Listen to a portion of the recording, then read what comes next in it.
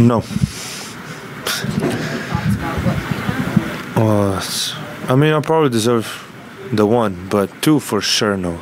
Like, it was just a little bit too much. Uh, but I deserve the first one, I'm not gonna lie. Uh, but for sure not the second one. I was really shocked when I was ejected.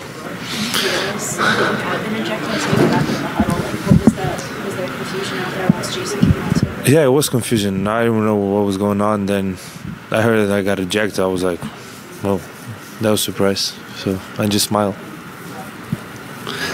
What happened uh, during that stretch in the second quarter? You guys were up eight and they went on a 22 run over six minutes without scoring. I think just our energy, you know, they're obviously the better team today with more energy.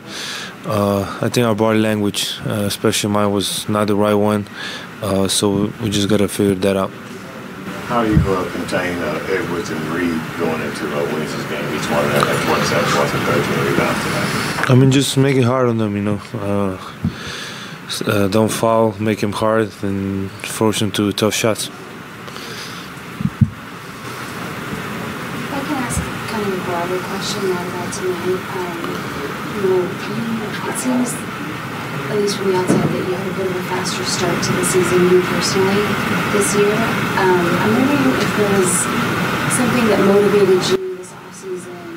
Um, is it something that, that has stayed with you as you started the season? Uh, not not really. You know, I was just uh, I was way more ready than the last year at the start, so I think that was that was really the most important point. Is the, way that the playoffs ended, is, has that something that pushed you? Sorry? Like the way that the playoffs ended last year, has that been something that's pushed you? I mean, I think we have a pretty good run to, yeah, last year. Uh, you know, we get to the conference finals. Uh, I mean, they always push you, you know, if, until you win a championship. I think it always has to push you, and it will uh, for me for sure. So maybe that was it too. But you know, it always when you don't go to finals and win it, it always pushes you a little bit. Yep. Thank you. All right, I'm here because uh, I have to be here. So I, I already gave up money, um, so I don't want to give up any more.